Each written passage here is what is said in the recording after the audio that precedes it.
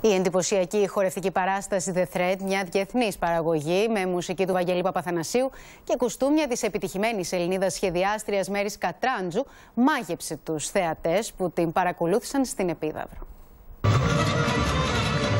Μετά από μια επιτυχημένη περιοδία σε ολόκληρη την Ευρώπη, η φαντασμαγορική παράσταση The Thread, η οποία είναι εμπνευσμένη από τον μύθο του μύτου της Αριάδνης και συνδυάζει τους παραδοσιακούς χορούς της πατρίδας μας με τη σύγχρονη αντίληψη σχετικά με τη χορευτική τέχνη, έκανε την πρεμιέρα της και στη χώρα μας, στο αρχαίο θέατρο της Επιδάβου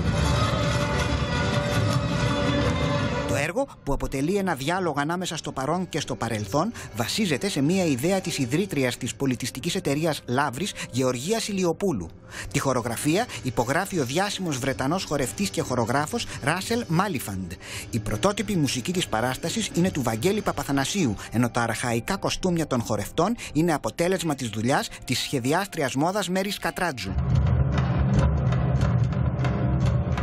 Στην κατάμεστη επίδαυρο έδωσαν μεταξύ άλλων το παρόν εκπρόσωποι του πολιτικού, πολιτιστικού και καλλιτεχνικού κόσμου από την Ελλάδα και το εξωτερικό, όπως η πρέσβης καλής θελήσεως της UNESCO, κυρία Μαριάννα Βαρδινογιάννη με την κόρη της Χριστιανά, η σύζυγος του Προέδρου της Δημοκρατίας Σύση Παυλοπούλου και η σύζυγος του τέος βασιλιά Κωνσταντίνου Άννα Μαρία.